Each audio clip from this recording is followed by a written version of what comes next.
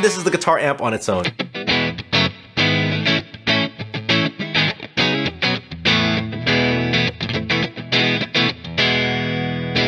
And this is the tilt boost.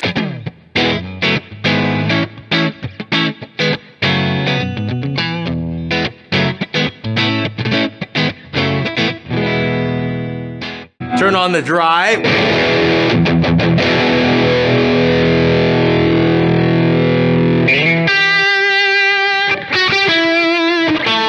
Thank you.